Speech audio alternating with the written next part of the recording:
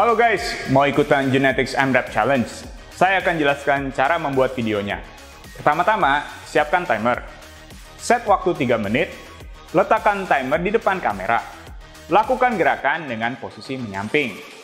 Lakukan 5 burpees, 10 push-up, dan 10 squats. Setelah melakukan tiga gerakan ini, yang totalnya 25 repetisi, maka akan dihitung satu round.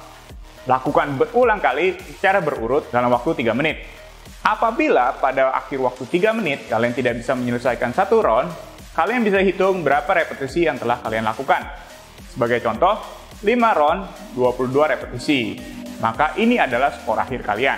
Pastikan kalian tonton juga video tentang peraturan gerakan yang sesuai di video selanjutnya agar tidak kena diskualifikasi. Are you ready?